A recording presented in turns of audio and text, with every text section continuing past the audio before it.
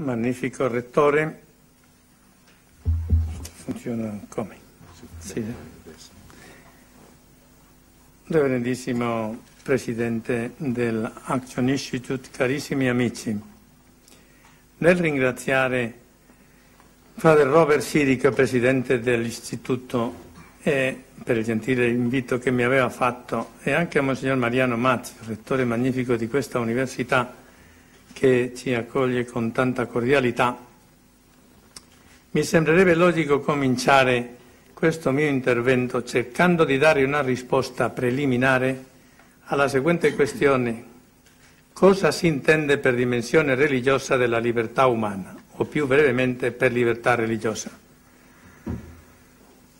L'illustrissimo Presidente accennava a questa, questo chiarimento fatto dal Papa Benedetto XVI sulla distinzione tra la vera laicità e il secolarismo, se si vuole il laicismo, perché lì in questa controposizione, in questo necessario bilancia, bilanciamento delle due tendenze in cui si gioca l'esistenza o meno della libertà religiosa.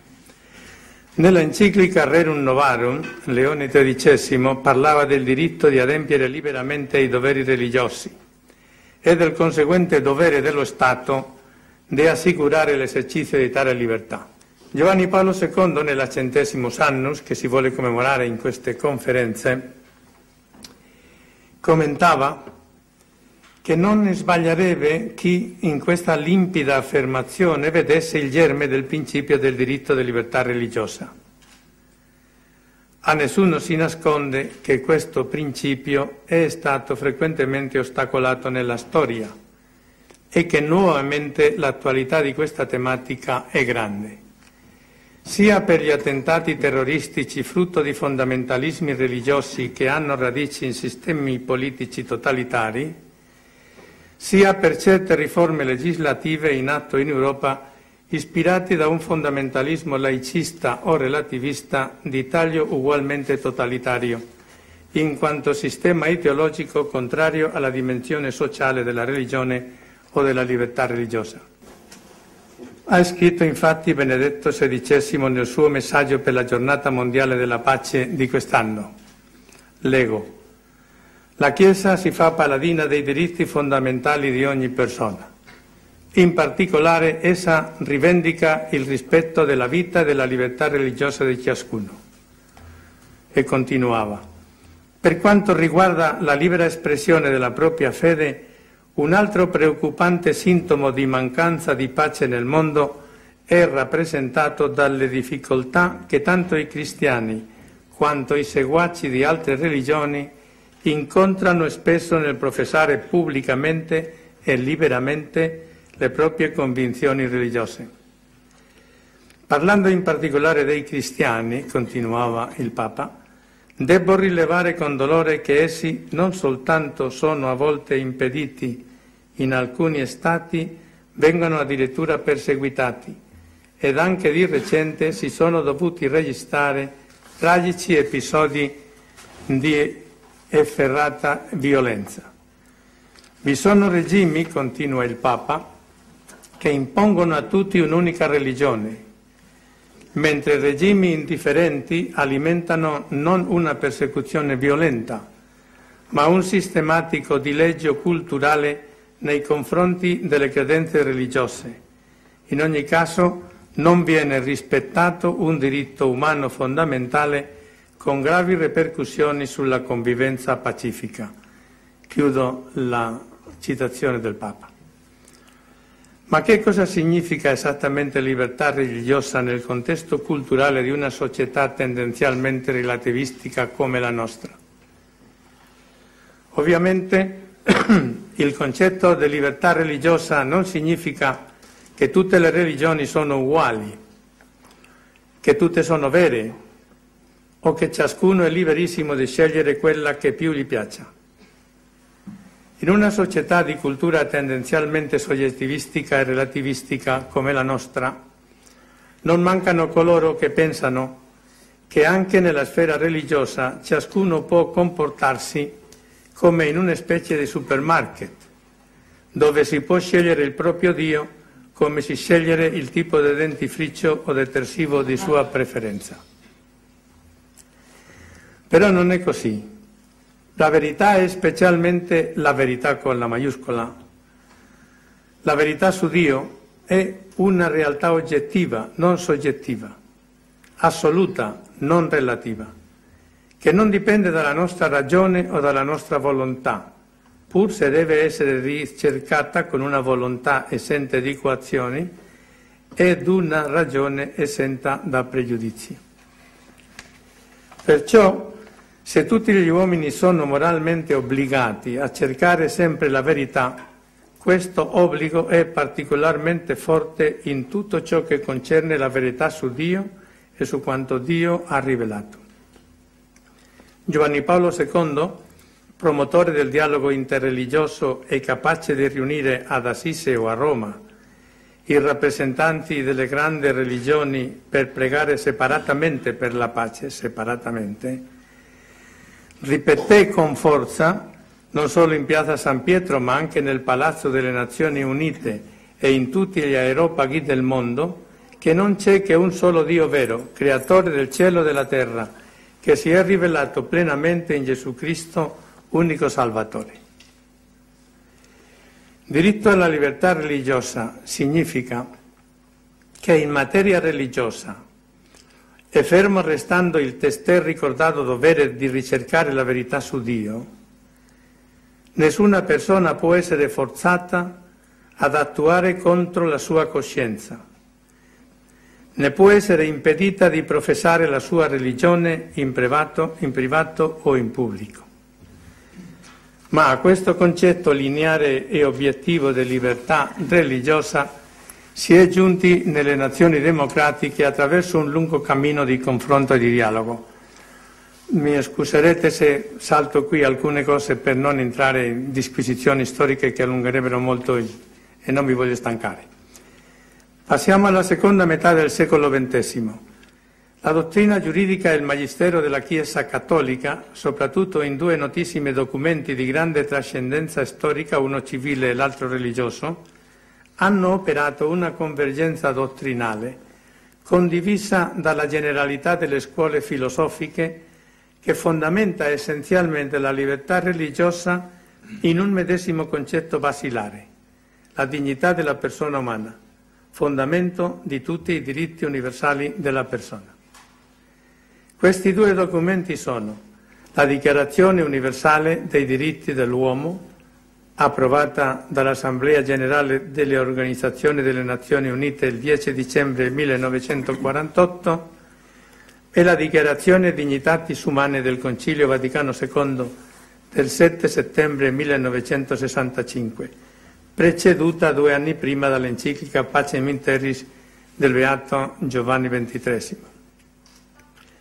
Nel messaggio indirizzato al segretario generale delle Nazioni Unite, in occasione del trentesimo anniversario della Dichiarazione universale dei diritti dell'uomo, Giovanni Paolo II al tempo stesso che affermava, come farà di seguito in ripetute occasioni, che il diritto alla libertà religiosa è la base, cito, di tutte le altre libertà ed è inseparabilmente legato ad essa, si domandava, cito, nel mondo come lo troviamo oggi, quali criteri possiamo usare per far sì che i diritti di tutte le persone vengano protetti?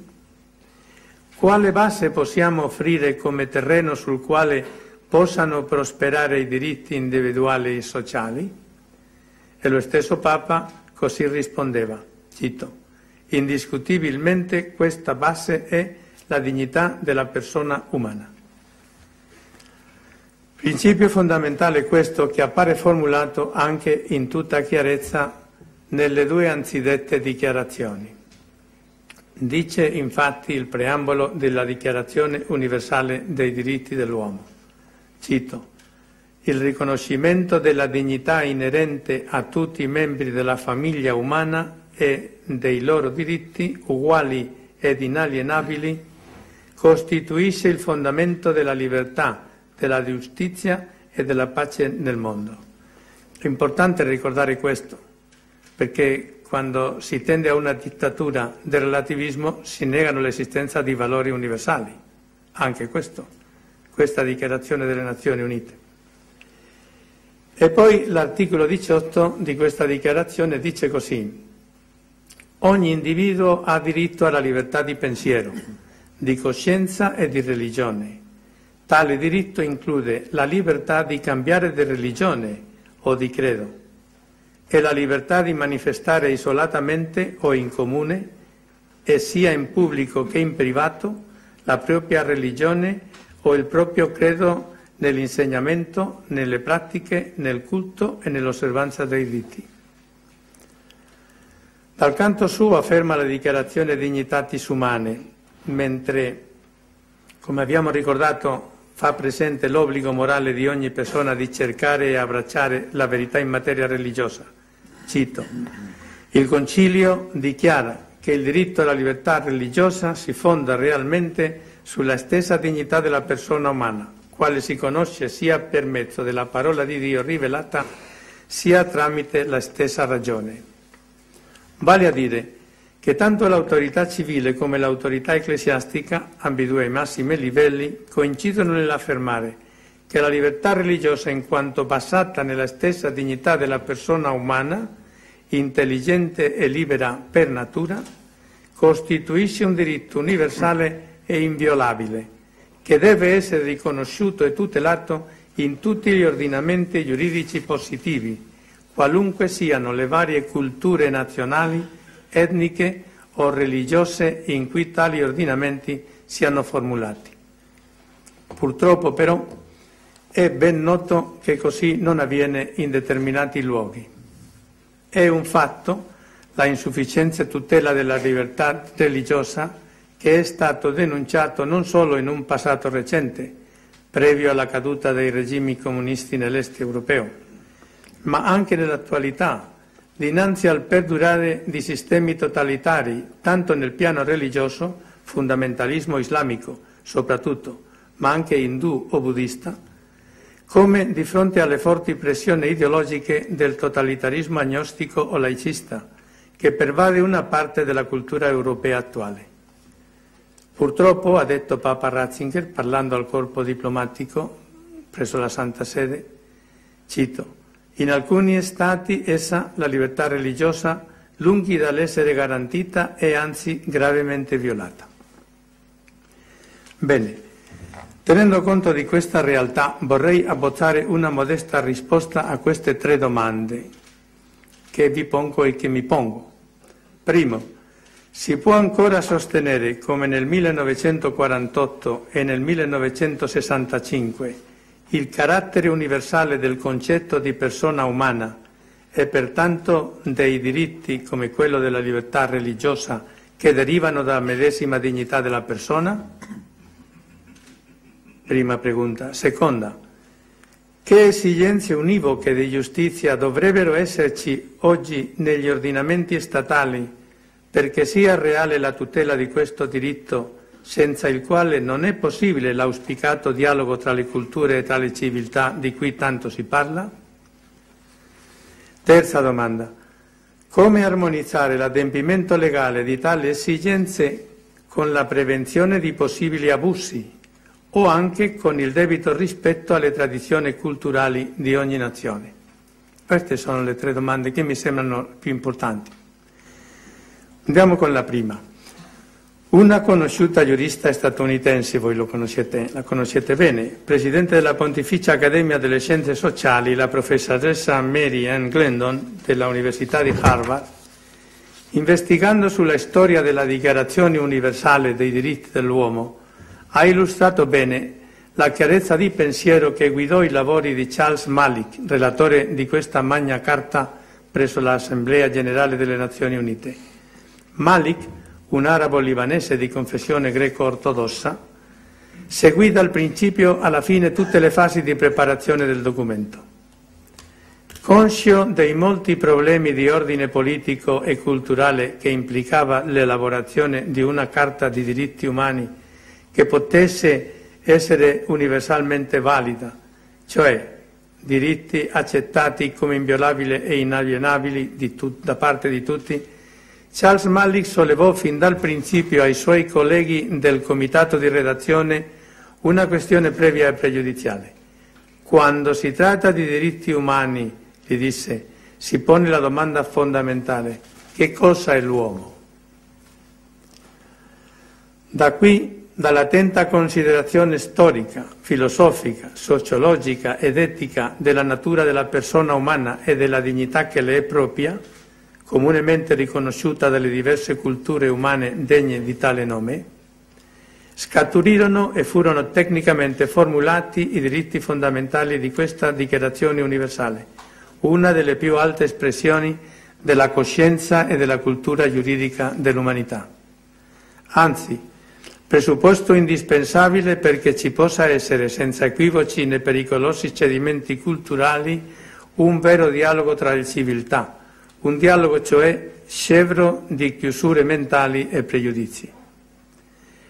In merito alla storia della preparazione di questo trascendentale documento vorrei far notare che circa la domanda sulla reale esistenza di diritti umani fondamentali che potessero essere accetti da tutte le nazioni e civiltà, furono interessati i pensatori delle più diverse tradizioni culturali, da Jacques Maritain o Teilhard de Chardin al Mahatma Gandhi a filosofi confuciani, buddisti e musulmani.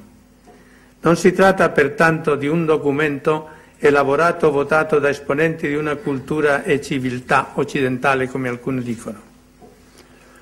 In questi diritti inalienabili si riflettono le esigenze obiettive e i valori imprescindibili di una legge morale universale che non ammette frontiere geografiche o condizionamenti riduttivi di ordine culturale, politico o ideologico.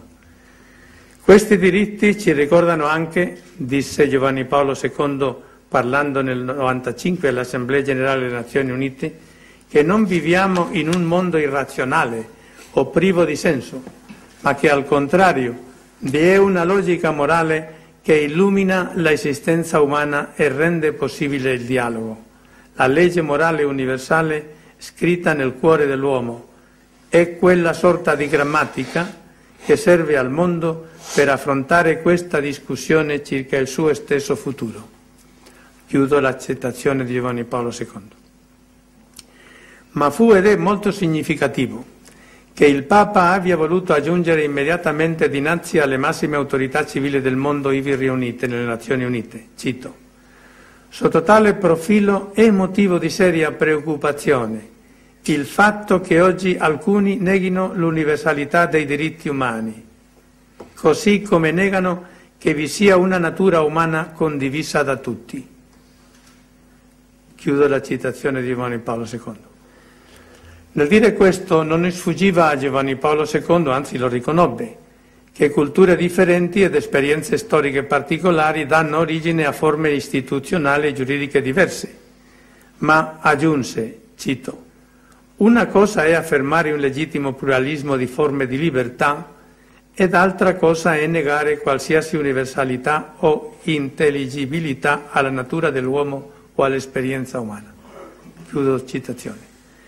Con queste parole il Papa ha certamente voluto mettere in evidenza il pericolo che la Dichiarazione universale dei diritti dell'uomo, non legge internazionale, ma sì ideale comune per la cui realizzazione tutti i popoli e nazioni devono sforzarsi, dice la dichiarazione stessa, venga progressivamente svuotata di autorità morale, la dichiarazione, e di forza vincolante, a causa della crescente diffusione del pensiero filosofico e politico dell'individualismo libertario e di matrice nichilista o agnostica. Questa aberrazione ideologica, che porta in taluni settori a negare il carattere univoco e universale della natura e dignità della persona umana e dei suoi conseguenti diritti innati e inviolabili, ci obbliga a considerare che ciò che qui viene messo in gioco non è solo il magistero della Chiesa cattolica, ma anche di altre religioni al servizio della dignità umana e soprannaturale dell'uomo, ciò che potrebbe interessare ai soli credenti, bensì è in causa, e ciò riguarda tutti, la stessa legittimità morale del diritto e la retta tutela della libertà religiosa, condizioni necessarie perché, messo da parte ogni fondamentalismo, si possa veramente parlare di dialogo di civiltà. Non c'è alcun dubbio che il fenomeno più positivo della moderna scienza giuridica e delle costituzioni democratiche è stato lo sviluppo dottrinale e normativo sui diritti fondamentali dell'uomo, ciò che ha contribuito a mettere al centro della realtà giuridica il suo vero protagonista, la persona umana, con la sua inalienabile dignità e libertà. E così si è superato questa aberrazione del diritto dei sistemi totalitari di destra o di sinistra dello stesso che mettevano al centro del sistema giuridico una determinata filosofia, invece della realtà umana, della persona umana, alla quale la società deve servire. Si è però avuto una progressiva presa di coscienza che tale ordinamento si deve strutturare e continuamente perfezionare tenendo presente che è proprio la persona umana il fondamento e il fine della vita sociale.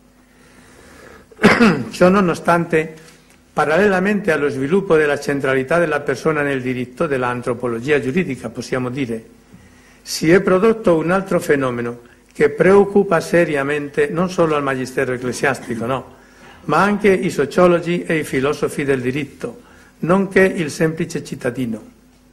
Mi riferisco al progressivo impoverimento etico delle leggi civili disprezzo della indissolubilità del vincolo matrimoniale e perfino dello stesso concetto antropologico di matrimonio, liberalizzazione dell'aborto, dell'eutanasia, delle manipolazioni generiche di ogni genere e al riguardo della libertà religiosa riduzione relativista e agnostica di questo concetto e delle modalità di riconoscimento di questo diritto.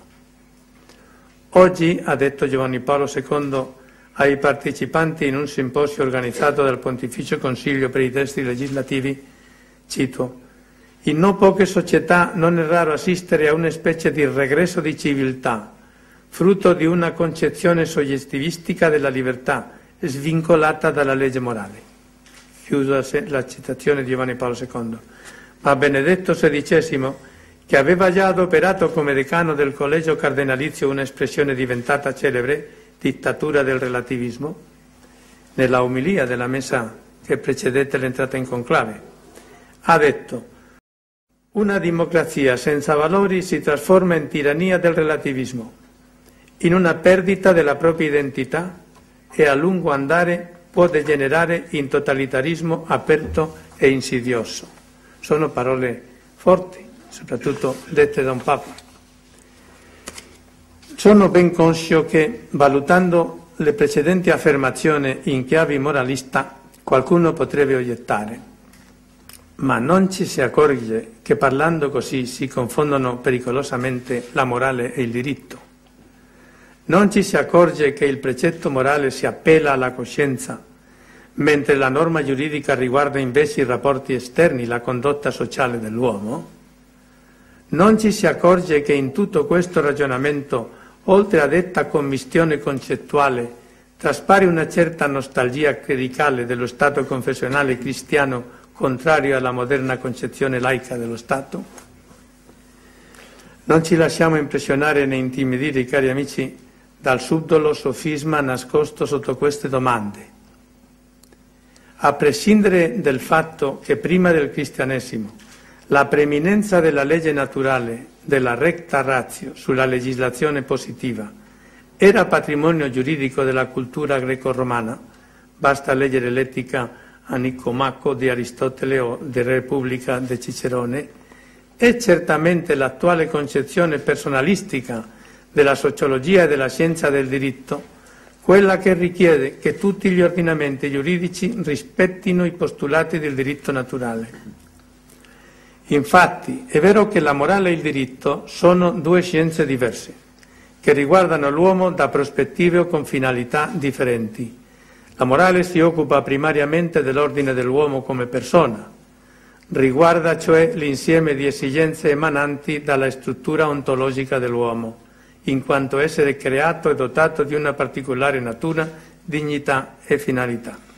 Il diritto invece si occupa primariamente dell'ordine sociale, riguarda cioè, stiamo parlando del diritto come ordinamento, l'insieme di strutture che ordinano la comunità civile, la società.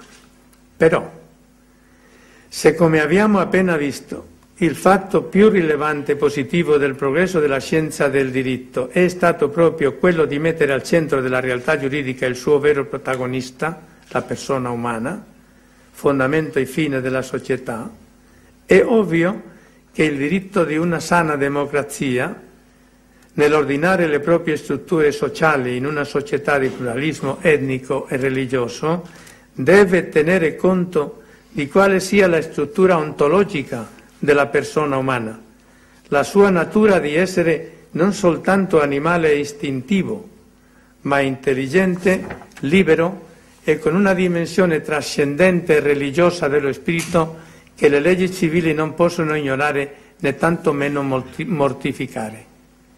Qualora si negasse questa verità universale sulla natura e la dignità della persona umana, una verità che non può essere convenzionale, ma né dipendere dall'opinione della maggioranza, non solo si indebolirebbe pericolosamente il concetto di libertà religiosa e degli altri diritti fondamentali dell'uomo, ma si, si troverebbe dinanzi ad un diritto antinaturale, essenzialmente immorale, strumento inadeguato per un dialogo costruttivo e sincero tra civiltà.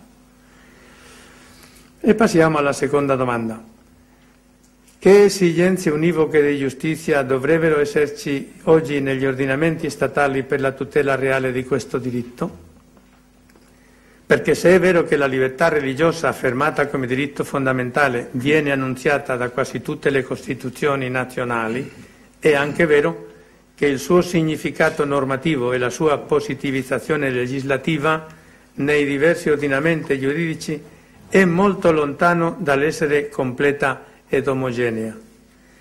Il caso estremo mi sembra di individuarlo nelle nazioni in cui l'adozione civile della legge coranica, la Sharia, porta all'abuso totalitario di negare la libertà di coscienza ai propri cittadini, combinando gravissime discriminazioni e pene anche di morte a che si converta ad altre religioni. Anzi, in alcune di queste nazioni, come l'Arabia Saudita, si arriva a negare la libertà di professare la propria religione non islamica ai cittadini stranieri residenti nel Paese. Tuttavia la limitazione della libertà religiosa non è meno evidente, quantunque in forma più sottile, in alcuni altri stati che si dicono democratici, ma che dinanzi alla questione religiosa adottano una ideologia ufficiale di secolarismo ateo o per dirla meglio antiteo, antireligioso, anche qualificato di totalitarismo legista. Mi riferisco in primo luogo a coloro che considerano con Marx che la religione è l'oppio del popolo e pertanto deve essere repressa, più che con la violenza, metodo che genera martiri ed è controproducente, con misure restrittive con cui si aspetta di arrivare alla pacifica estinzione delle istituzioni religiose. Ho avuto occasione di comprovare personalmente in quel grande e nobile paese che è la Repubblica Popolare Cinese e che il nostro collega conosce tanto bene, che è tanto a cuore del Papa, fino a che punto la enunciazione dell'articolo 36 della Costituzione del 1982 di una libertà religiosa condizionata porta ancora, ci si ha ci si auspica che questa penosa situazione possa cambiare anche per il bene comune ed il progresso della nazione cinese, ha tre concrete limitazioni. L'impossibilità di esercizio di un'autorità religiosa sopranazionale non cinese, la proibizione dell'evangelizzazione e della catechesi fuori dei luoghi di culto, l'impossibilità dell'insegnamento religioso nei centri educativi di qualsiasi livello o in mezzi di comunicazione sociale. Tuttavia dobbiamo riconoscere che anche nei sistemi giuridici di paesi democratici sorgono problemi di insufficiente tutela della libertà religiosa. Perfino, cito Giovanni Paolo II nel 2004, in alcuni paesi europei siamo testimoni in questi ultimi tempi di un atteggiamento che potrebbe mettere in pericolo il rispetto della libertà di religione. Ciò avviene soprattutto quando le espressioni neutralità dello Stato o laicità dello Stato sono interpretate o applicate in maniera incorretta nella pratica, quando per esempio la libertà religiosa viene concepita come una concessione dello Stato al cittadino, non come un'esigenza della dignità stessa della persona umana che precede ogni diritto positivo. O ancora quando il concetto, il concetto di laicità si intende o si converte di fatto in laicismo militante, si comincia con un atteggiamento di disprezzo agnostico delle credenze religiose, considerate frutto o causa di scarso sviluppo culturale di nazioni o di regioni sottosviluppate. E si perviene addirittura progressivamente all'imposizione dittatoriale di norme scolastiche che da una parte mortificano il diritto dei genitori circa l'educazione religiosa che vogliono che i loro figli ricevano, che è un diritto naturale e d'altra parte obbligano tutti gli alunni delle stesse scuole a ricevere la cosiddetta educazione civica, a nomi vari secondo del luogo, contraria in molti punti di contenuto ideologico impongono una ideologia atea, alla morale cristiana e allo stesso concetto di morale naturale e di religione. In queste fatti specie la neutralità o la laicità pretesa dello Stato non sono equivalenti a Stato laico o a confessionale, ciò che sarebbe corretto, bensì a Stato anticonfessionale, ideologicamente antireligioso, che, senza dirlo esplicitamente, impone l'ateismo come religione di Stato. Si tratta, come prima accennavo, ad un atteggiamento di totalitarismo o fondamentalismo laicista salto alcune cose. Appena due mesi dopo la sua elezione, Giovanni Paolo II scriveva nel già citato messaggio al segretario generale delle Nazioni Unite, la giustizia, la sapienza e il realismo richiedono a tutti che le rovinose posizioni del secolarismo siano superate, particolarmente la erronea riduzione del fatto religioso alla sfera puramente privata. Nei regimi politici veramente democratici sono variegati gli ambiti di esercizio e pertanto di necessaria tutela giuridica della libertà religiosa.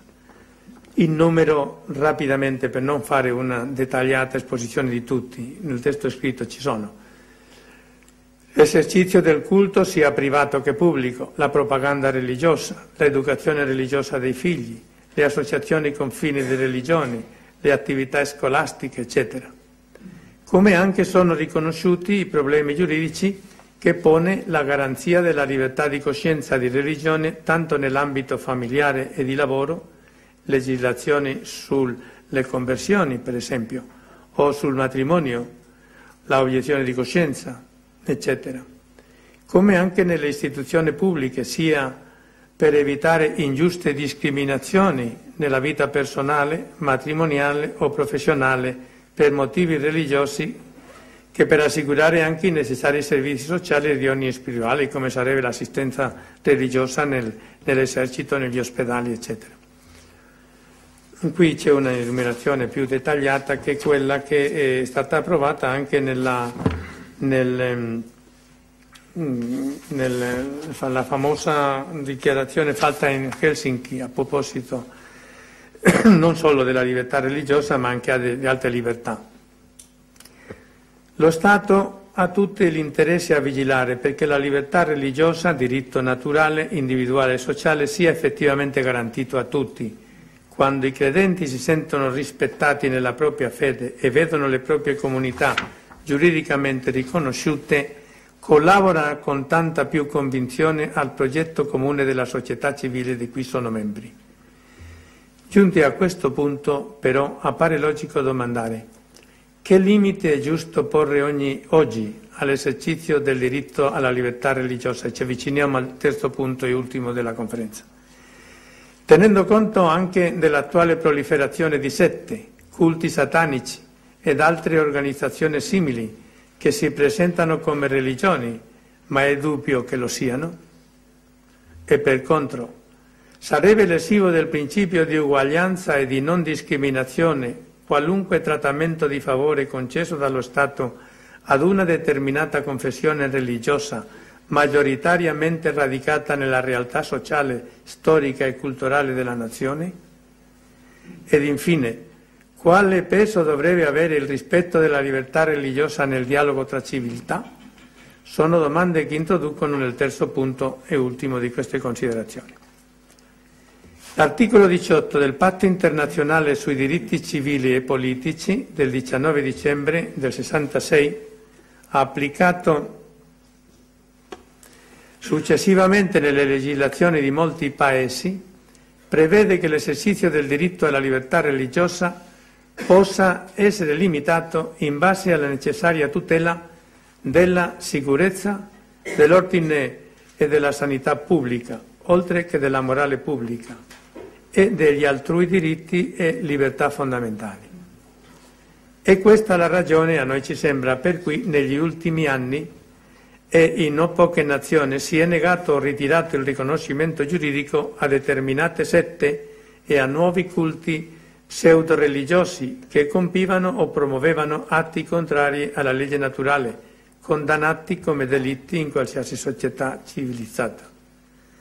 Non vi è dubbio sempre che i termini sicurezza, ordine e sanità pubblica siano rettamente intesi, sulla legittimità morale e giuridica di queste limitazioni del diritto della libertà religiosa.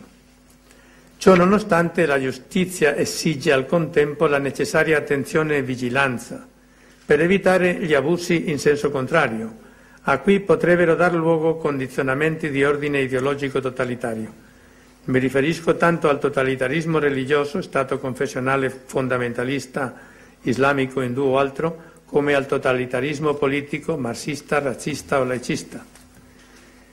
Fu già significativo nel 1948 che la Dichiarazione universale dei diritti dell'uomo risultasse approvata, approvata dall'Assemblea generale dell'ONU per 48 voti favorevoli con l'astensione di otto nazioni. Quando questo si dice, eh, alcuni si sorprendono, ma poi no, è logico che fosse così. Che la tendenza totalitarista di queste nazioni era manifestare anche le sei del blocco sovietico, URSS e nazioni satelliti, totalitarismo, ma parlando ai cittadini del Mali, Stati Uniti, la Sudafrica era nel regime di apartheid totalitarismo razzista le coscienze e l'Arabia Saudita circa l'importanza che ha per la società la libertà religiosa. Oggi sembra prudente tener conto inoltre ne eravamo sopra, che la tendenza al totalitarismo ideologico deve manifestare anche i regimi democratici e stabilire cioè Paolo II parlando ai cittadini del Mali negli Stati Uniti diceva la sfida che avete dinanzi a voi consiste nel sensibilizzare le coscienze delle persone circa l'importanza che ha per la società la libertà religiosa e la difesa di questa libertà contro coloro che vorrebbero includere la religione, escludere la religione dalla sfera pubblica e stabilire il secolarismo come fede ufficiale dell'America. Sono parole della cattedrale di Baltimore nel 98. Non sarebbe invece abuso da parte dello Stato attribuire una speciale posizione giuridica, e questo è il secondo, ultimo punto, alla religione più profondamente radicata nel paese, cristiana, musulmana o altro, sempre che simultaneamente sia riconosciuto e tutelato il diritto alla libertà di coscienza e di religione di tutti i cittadini. Assicurando questo principio di uguaglianza, non si considera arbitrario né contrario al carattere aconfessionale o laico dello Stato che questo, per ragioni di giustizia sociale, non di privilegi a nessuna. Tuteli con speciale considerazione nelle sue leggi e regolamenti i valori religiosi che sono professati dalla maggioranza dei cittadini e che appartengono al patrimonio storico, artistico e culturale della nazione.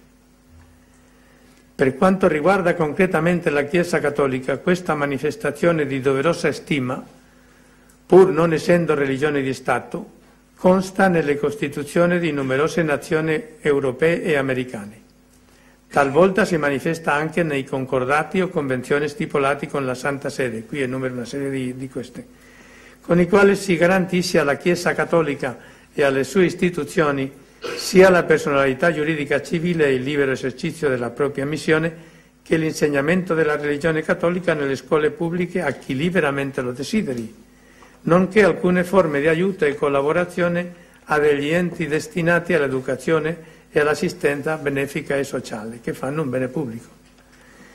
È da notare, passo all'ultimo paragrafo, che questo tipo di accordi, allo stesso tempo che rispettano in ogni nazione l'autonomia e l'indipendenza dello Stato e della Chiesa, ciascuno nel suo proprio ambito, non implica alcuna discriminazione nei confronti di altre religioni professate da un numero più ristretto di cittadini e che hanno avuto minore incidenza nella storia e nella cultura della nazione. Effettivamente, anche a queste altre comunità religiose, ciascuno di questi Stati riconosce o deve riconoscere, se offrono le necessarie garanzie di rispetto all'ordine sociale e alla moralità pubblica, il diritto alla libertà religiosa. Non sarebbe infatti giusto discriminare queste altre comunità, privando i loro membri di un diritto fondamentale della persona. Però neppure sarebbe giusto, poiché ciò significherebbe ignorare le esigenze della stessa realtà sociale e delle coscienze dei cittadini, operare un indiscriminato livellamento giuridico di tutte le religioni, ponendo in tutto la Chiesa cattolica alla stessa altezza di qualsiasi altra religione, comunità o setta. Lo stesso discorso va logicamente fatto riguardo a nazioni la cui storia, cultura e istituzioni hanno avuto l'influsso di altre diverse tradizioni religiose.